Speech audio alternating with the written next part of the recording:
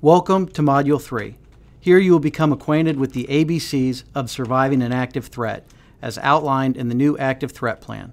ABC stands for A. Alert and avoid, B. Barricade and fortify or lockdown, and C. Counter or defense. It is important to remember that the Active Threat Plan, or ATP, is only activated when there is an active threat actually occurring on campus. The ATP is not for unconfirmed rumors or nearby community events not occurring on campus.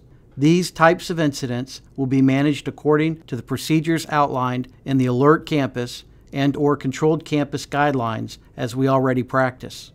Let's review the definition of an active threat for the purpose of our active threat plan as introduced in Module 2. What is an active threat? An active threat is defined as any incident which, by its deliberate nature, creates an immediate threat or presents an imminent danger of bodily harm, serious injury, or death to the campus community. An active threat is an individual or group of individuals displaying a weapon or weapons having made threats and shown intent to cause harm or act out in violence. A weapon is defined as firearm, knife, or any other instrument that can cause bodily harm, injury, or death. It is important to note that the active threat plan is not a sequential process. Rather, it is a representation of all the strategies and options that are available to occupants should they be exposed to an active threat on campus. In the past, most school systems adopted the passive lockdown only approach. It was the best we had at the time. These practices failed at Columbine, Sandy Hook,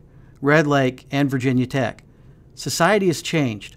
The threat paradigm has evolved. The options one chooses to employ is directly related to the nature, location, type, and one's proximity to an active threat. Options and choices will look different to individuals even in cases where they are parties to the same incident on campus. Our schools have large footprints and there is a variety of activity occurring at any given time simultaneously.